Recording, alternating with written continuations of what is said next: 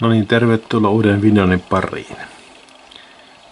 Tältä sivulta voi seurata kolariin menevät junat ja kolarista lähtevät junat.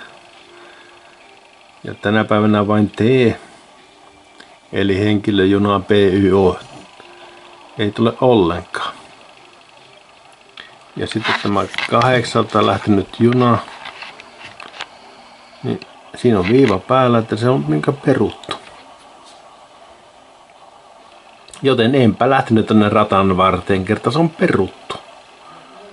Mutta kun me klikkaamme tätä näin, niin täällä lukee, että se onkin osittain peruttu ja juna on kulussa. Ja sitten on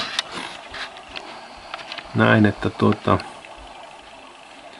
tästä täällä olla 10 ja 10.56.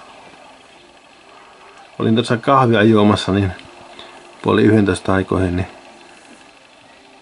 katsotaan perhana, tuossa meni juna. Niin se oli 10.34. Ohitti tämän paikan.